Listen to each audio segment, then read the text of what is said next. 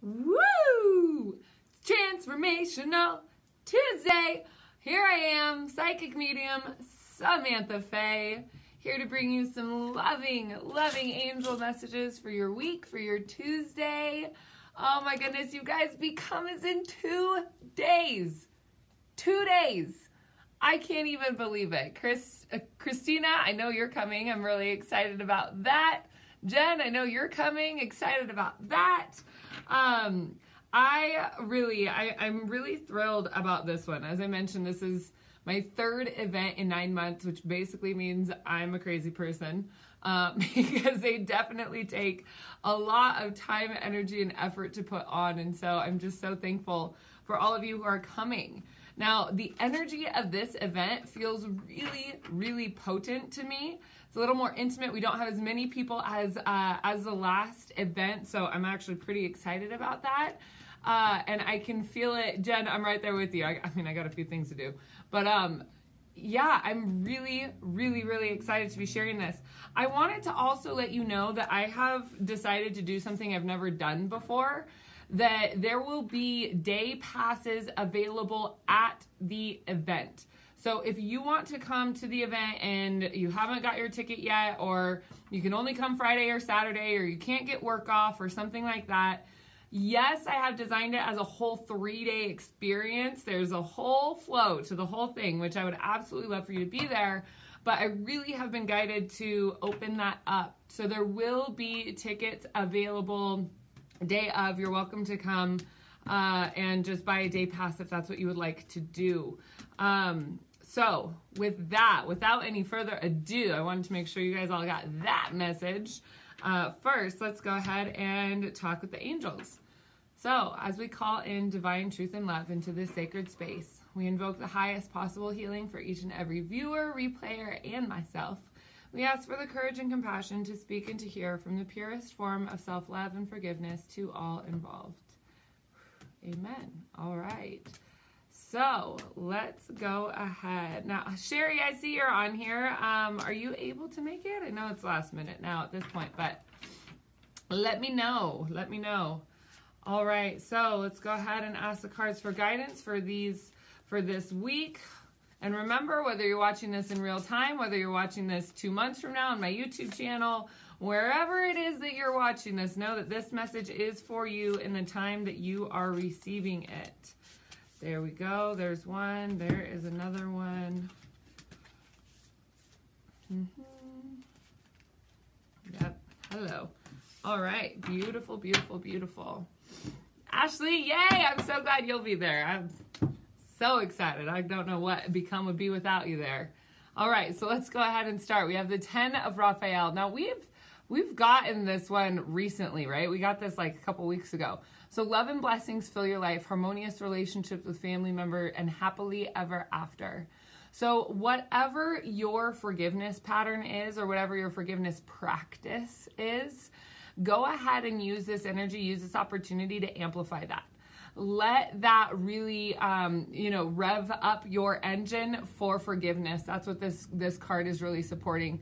That harmonious relationships with family members think of any family member that you have that like snag with that when you think about them it's kind of like that little stinging like ooh ooh it just doesn't feel so good like go ahead and take a look at it and just like basically use forgiveness as a solve or as a balm. Like go ahead and just put the energy of forgiveness around that area for you because remembering that whatever sort of grudges you're holding on to or any sort of disharmony in these relationships uh, even if it's like well we can be cordial in person but underlying that it's like it doesn't feel good the only person you're doing a disservice to is yourself so allowing yourself to really find that place of forgiveness is really just about setting you free from having that icky feeling inside.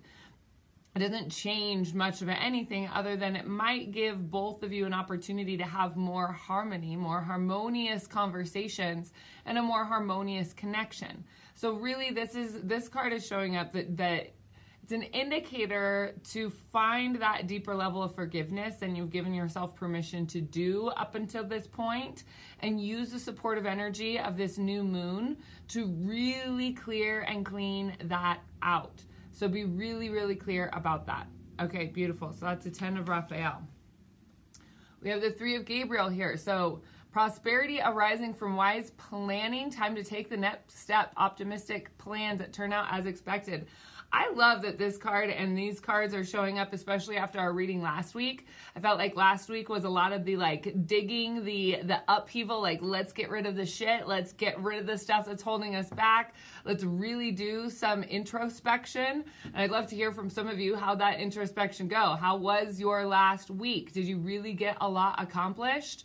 I know for me, I had a massive heart center breakthrough yesterday of stuff I didn't even know was holding I was holding on to that came in the form of anxiety, which was actually really terrible.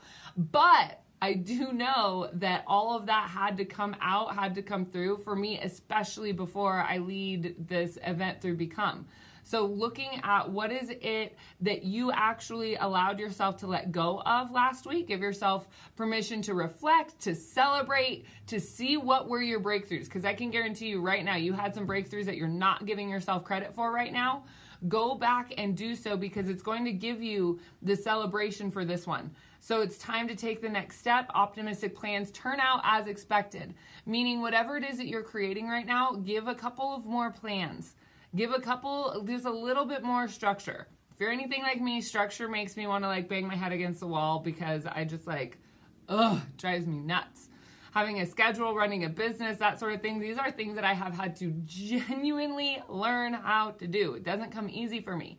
But this card right here is showing you that if you take that little bit of extra effort, that little bit of extra planning in your step, in your process of what it is that you're creating for yourself, it's going to reward you even more so than you thought. So give yourself that extra time to plan, give yourself that extra time to plot, and you'll really see the results of that in a new and sort of refreshed way. All right, and so the Ace of Gabriel, we have a gift of passion, opportunity, and inspiration, a chance to do something amazing and a sense of wonder. So, wherever, wherever it is, I'm to just bring this one back. Okay, so we're talking about harmonious relationships, love and blessings to fill your life, and the happily ever after. Look at that. Is there an avenue in your life that you may not be considering that is opening up for you that's going to be a really beautiful sign and indicator that that's the direction that you want to go? Go ahead and take a look at that now because then we have the prosperity from wise planning, making sure that the optimistic plans turn out for you as expected. And then here we really have that sense of wonder that there's a chance to do something amazing. So, what is the path that you maybe have not yet considered, or something that is brand new, brand new in your life that you're still questioning? Like, what is it that you're asking for signs? Do I need to go in this direction? Do I need to go in this direction? Do I need to go in this direction? I know I ask for multiple, multiple signs when I'm unsure because I'm like, show, show me and help me move through the fear to my guides. And they always do. They always show up with signs. Always, always, always. This reading right here is a huge sign for me. I'm actually very thankful and very grateful for these cards for coming through because it is another one of the like nods, like, yes, go in that direction. So knowing that for yourself, giving yourself the freedom of release, the freedom of surrender, stop trying to figure it out.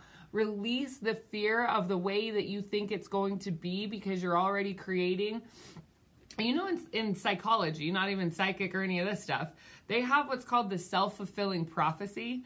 And this has been around forever. But the self-fulfilling prophecy is basically if somebody uh, thinks about something and thinks about something so much that it then becomes true. Psychology doesn't really have a reason as to why that happens. And now with um, quantum mechanics and our metaphysical learning we can start to see that our thoughts are creating energetic frequencies that then create and manifest that in our world. Um, and so, looking at that for yourself, when you have another option or you have a life path that is just opening up to you, or something is closing, the door is closing, you don't know where you're going, visualize and visualize and visualize the best possible outcome, and also go this and something more. Because I can guarantee you, your imagination is the only thing that is limiting you.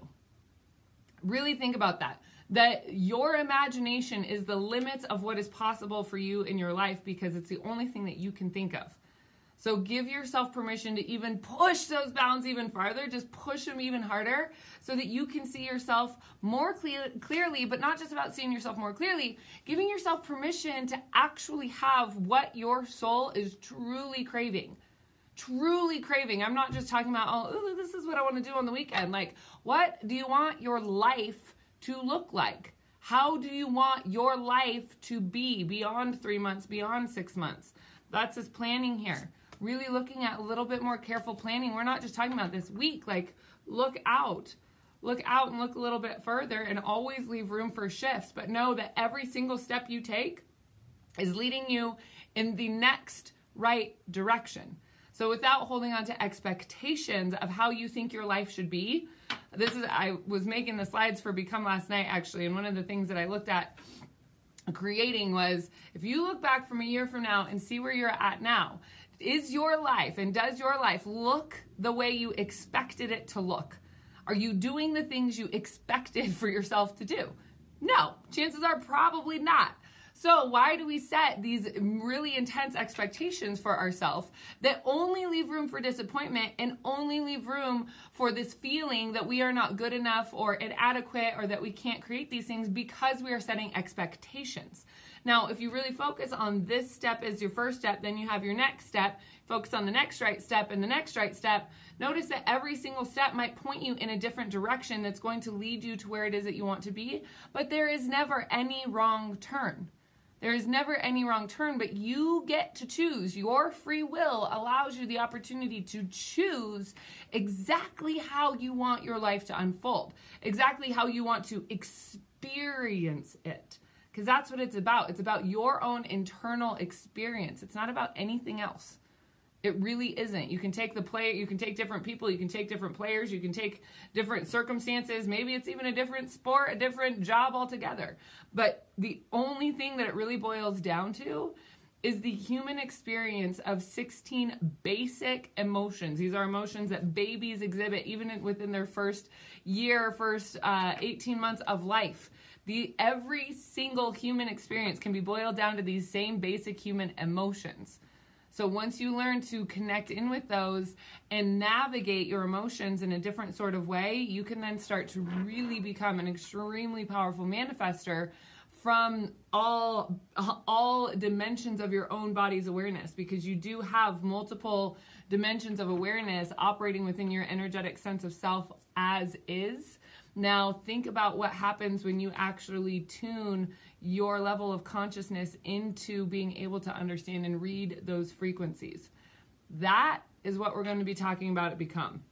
That is exactly what we're going to be diving into healing past trauma patterns and trauma and also looking at how can you learn to tune in to the multiple uh, layers of your own makeup your emotional body your energetic body, your physical body, your basal body, and then your monad, your connection to the divine. So we're going to be really getting into each and every one of these layers and going through them so that you have a really, really crystal clear and genuine sense of self because that is what it is about. My goal is to help you have the happiest, most enjoyable, most transformational and growth oriented life towards ascension that you can because that is what I'm here to do.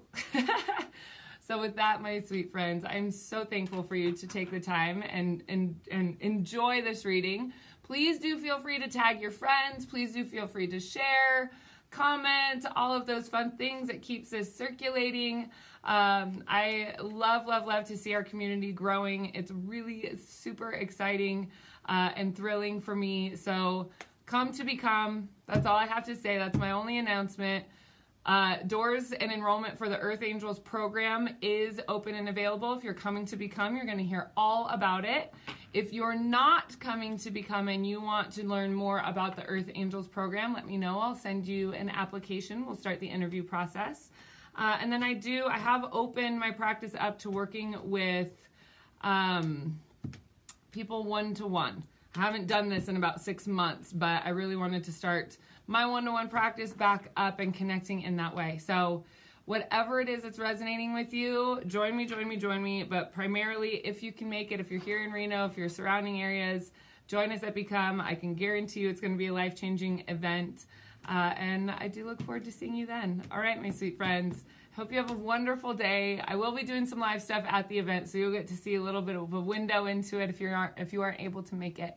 But with that, I love you dearly, and I will see you soon. All right, Mwah! ciao.